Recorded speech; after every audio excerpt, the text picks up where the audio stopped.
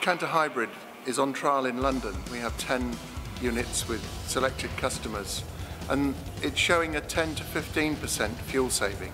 As you can see, the Canter Hybrid is very similar externally to the standard Canter truck.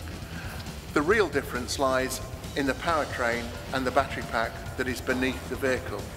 The cab itself is identical apart from a switch uh, to the conventional vehicle. So driver training is not an issue. We save fuel and therefore we save CO2. And if you look at this uh, schematic, you can see exactly how the electric motor fits between the engine and the gearbox that provides that boost of power.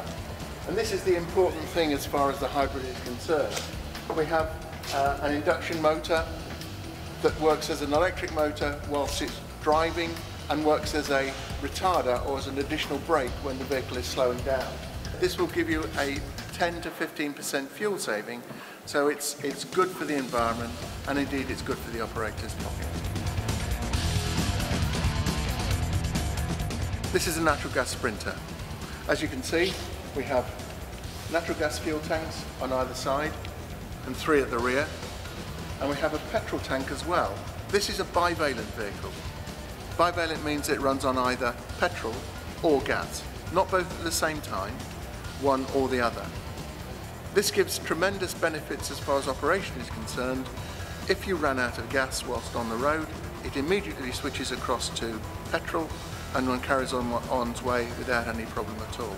The benefits that natural gas brings is a reduction in uh, regulated emissions. So there are virtually no particulates and there are much lower oxides of nitrogen emitted from the exhaust. So as far as air quality is concerned, this vehicle delivers some significant benefits. Indeed, those benefits are so great that as far as London is concerned, this vehicle is congestion charge exempt. That makes operating this vehicle in London much, much more economic.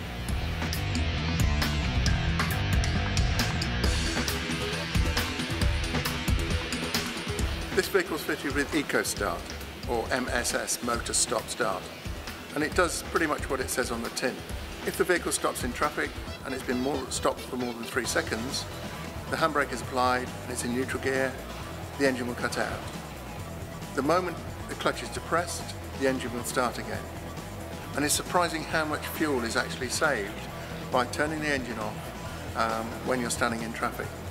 Some trials were done by uh, journalists and they found that savings of between 5 and 9% were very achievable and indeed on some runs savings in excess of that were, uh, were, were able to be achieved. The operation is very simple. From inside the cab, really the only difference is a small switch on the dashboard that can be pressed to deactivate it if you actually do want to keep the engine running for any reason while the vehicle is stationary.